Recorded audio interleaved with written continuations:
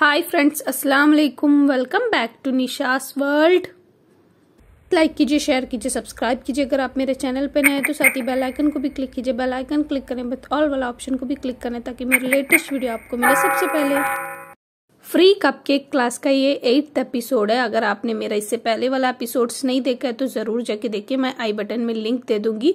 इस एपिसोड में मैं परफेक्ट व्हीपिंग क्रीम कैसे बीट करेंगे ताकि हमारा कपकेक को हम डेकोरेट कर सके, वो बताऊँगी। चलिए स्टार्ट करते हैं हमारा वीडियो क्रीम है अगर आपको रिच ब्रांड का विपिंग क्रीम मिल रहा है तो आप वही लीजिएगा, वो सबसे बढ़िया होता है। मेरे पास अभी रिच ब्रांड का नहीं मिला, मुझे लॉकडाउन की वजह से, इसीलिए मैंने ट्रॉपिकल का ले लिया। या में ओपन करके लिखा होता है, उसको आपको खींच कर ओपन कर लेना होता है। फिर एक नाइफ की मदद से ऊपर में होल कर देना है। जैसा मैं दिखा रही हूँ, आपको भी वैसा ही करना है, एक नाइफ लेके, उसका टिप की मदद से हमें होल कर देना है। ये देखिए ऐसा। होल करने के बाद आपको जितना इसमें से चाहिए उतना निकाल देना है। बाकी आपको वैसा ही फोल्ड करके इसमें ऊपर से सेलो टेप लगा दीजिएगा। ये देखिए मैं आपको दिखाती हूँ, ये देखिए ऐसा ओपन होता है और आपको जितना चाहिए वो ले लेना है। फिर वैसा ही आपको क्लोज करके इसमें सेलो टेप लगा के फ्रिज में स्टोर कर सकते हैं आप। इसमें से लीक नहीं होता है। ऐसा यूज़ कर सकते हैं आप इसे। देखिए आप देख सकते हैं। एक कांच का बोल को फ्रिज में रख दिया था एक घंटा के लिए और जो हमारा बीटर का जो ब्लेड होता है, उसे भी मैंने फ्रिज में रख के ठंडा होने के लिए अच्छे से एक घंटा के लिए रख दिया। और याद रखें बोल रखने से पहले बोल में एक बूंद पानी भी होना चाहिए, ये बात ध्यान रखिएगा।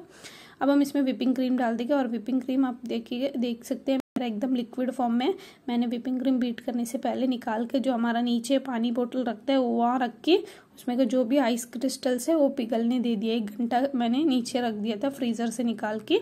तो आप याद रखिए आइस क्रिस्टल के साथ कभी भी विपिंग क्रीम को बीट नहीं करना होता है। ये मेरा बीटर है वंडर शेफ का बीटर है मैं। चलिए इसमें हम ब्लेड डाल देते हैं। मैं आपको इसका थोड़ा फीचर्स बता देती हूँ। इसमें ऐसा ब्लेड डालते हैं हम। फिर इसमें स्पीड सेटिंग होता है। ये है स्पीड सेटिंग इसमें फाइव तक स्पीड सेटिंग है। चलिए मैं आपको इससे बीट करके बताती हूँ। पहले हम वन में डाल के इसे बीट करेंगे। हम वन में डाल के चार सेकंड इसे बीट करेंगे पहले। आप देख सकते हैं, मैंने वन में डाल के चार सेकंड अच्छे से बीट कर दिया विपिंग क्रीम को। हमेशा याद रखिए, अगर आप क्लॉकवाइज बीट कर रहे हैं तो क्लॉकवाइज ही करेगा एंटी क्लॉकवाइज बीट कर रहे हैं तो एंटी क्लॉकवाइज ही बीट करेगा। हमेशा एक ही डायरेक्शन में विपिंग क्रीम को बीट करना होता है। अभी मैंने सेकंड में डाल दिया स्पीड को, फिर हम और बीट करेंगे चार सेकंड तक। चलिए, हम अच्छे से बीट कर लेते हैं। अब देख सकते हैं, मैंने सेकंड में डाल के इसे बीट कर दिया है। अच्छे से बीट करेंगे चार सेकंड तक। अब हम थर्ड में डाल दिया मैंने इसे। स्पीड इसका थर्ड तक बढ़ा दिया है। फिर हम इसे फिर से बीट करेंगे। हमेशा याद रखिए, एक ही डायरेक्शन में बीट कीजिएगा। अगर आप एक थोड़ी देर एक डायरेक्शन में फिर दूसरे डायरेक्शन में बीट करिए तो आपका विपिंग क्रीम एकदम परफेक्टली कभी बीट नहीं होगा, क्योंकि उसमें हेयर फॉर्म हो जाता है। उसकी वजह से हमारा विपिंग क्रीम एकदम परफेक्ट नहीं होता है।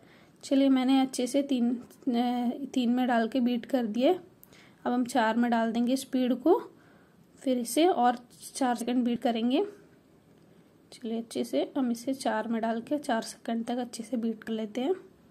विपिंग आपका जो बीटर होता है, उसका स्पीड का भी चेंजेस होता है हर बीटर का। तो आप उसके हिसाब से देखिएगा, आप चार में डाल के बीट करने के बाद एक बार चेक कर लीजिएगा आपका विपिंग क्रीम रेडी हुआ है कि नहीं। अभी मैं चेक करूँगी, मेरा फोर में डाल के बीट होने के बाद कि मेरा विपिंग क्रीम रेडी हुआ है कि नहीं। मैंने बीटर को रोक दिए। अब हम चेक करेंगे, आप देख सकते हैं। अब मेरा विपिंग क्रीम बीट नहीं हुआ है तो हम फाइव में डाल के इसे और चार मिनट बीट कर लेंगे। हमेशा चेक करिएगा, वरना ओवर बीट हो जाता है विपिंग क्रीम याद रखिए विपिंग क्रीम को कभी भी ओवर बीट नहीं करना होता है। आप हमेशा चेक कीजिएगा स्पीड के हिसाब से अगर कभी तीन में आपका अगर ज़्यादा हो रहा है, आपको लग रहा है कि विपिंग क्रीम रेडी हो चुका है, आप एक बार चेक करने के बाद ही फोर्थ वाला स्पीड रख के बीट कीजिएगा। हमेशा ये बात ध्यान रखिए, आप देख सकते हैं मैंने फाइव में रख के बीट कर दिया चार सेकेंड तो हमारा अच्छे से स्टिफ पिक बनना स्टार्ट हो चुका है। विपिंग क्रीम अभी दिखाती हूँ। मैं आपको, आप देख सकते हैं, एकदम परफेक्ट कंसिस्टेंसी में हमारा विपिंग क्रीम बीट हो चुका है। ये देखिए, आप देख सकते हैं विपिंग क्रीम रेडी हो चुका है। इस कंसिस्टेंसी तक ही आपको विपिंग क्रीम को बीट करना होता है। इससे ज़्यादा आपको विपिंग क्रीम कभी भी बीट नहीं करना होता है। ये देखिए, मैं बॉल को भी उल्टा करके दिखा रही हूँ। विपिंग क्रीम नहीं गिर रहा है। मतलब हमारा विपिंग क्रीम एकदम परफेक्टली रेडी हो चुका है। अगर आपको इसमें कलर ऐड करना है तो इस टाइम पे स्पैचुला की मदद से कलर ऐड करेंगे। विपिंग क्रीम को कभी कलर ऐड करने के लिए आप कभी भी बीटर की मदद नहीं लेगा क्योंकि ओवर बीट हो जाता है, ये बात ध्यान रखिएगा।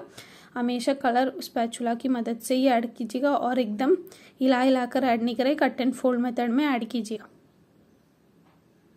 अभी ये सारा टिप फॉलो करेगा तो आपका विपिंग क्रीम भी एकदम परफेक्टली बीट होगा। आप देख सकते हैं मेरा कितना परफेक्टली बीट हुआ है। देखिए, मैंने बाउल को उल्टा करने से भी मेरा विपिंग क्रीम नहीं गिर रहा है। ये एकदम परफेक्ट विपिंग क्रीम का कंसिस्टेंसी आप देख सकते हैं। अगर आपको ये वीडियो अच्छा लगा है तो लाइक कीजिए शेयर कीजिए अपने फैमिली एंड फ्रेंड्स के साथ। अभी तक मेरे चैनल को सब्सक्राइब नहीं किया तो सब्सक्राइब कीजिए। अगर आपको वीडियो अच्छा नहीं लगा है तो ज़रूर डिसलाइक कीजिए ताकि मुझे पता चले कि मेरा वीडियो आप लोगों को पसंद आ रहा है कि नहीं। You for watching Nisha's world